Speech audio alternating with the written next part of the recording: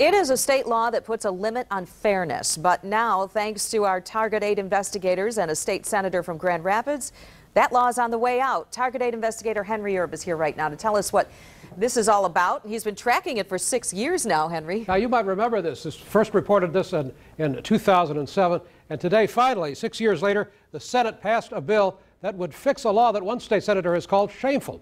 Now it moves on to the House of Representatives commented that our taxes seemed really high. That was John Stitzel in 2007. His taxes were too high. The city of Grand Rapids was billing him for property tax as if his home was a rental property, not a single family home, which can be taxed at a lower rate. It was the city's mistake. The Stitzels figure they overpaid by nearly $9,000, but they were able to get back only about 3,700. That's because of a state law that allows property owners to recover mistakenly collected taxes for only three years. The mistake went on for seven years, and the Stitzels were out nearly $5,000. It's unbelievable, and it's actually shameful. And so um, I'm drafting legislation to change the law. And then State Representative Dave Hildenbrand's attempts to fix the law failed. But now, six years later, Hildenbrand is in the state Senate and is trying again, this time with more success. We keep track of the things we work on, and, and as elections change and we get new people, we, we sometimes pursue old issues that we just couldn't get traction on with new people. And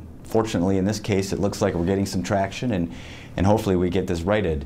Today, the Senate passed his bill 35 to nothing, and it goes now to the House of Representatives for approval. John Stitzel says he's happy Hildenbrand didn't give up. Stitzel himself became part of the process, testifying at a Senate hearing.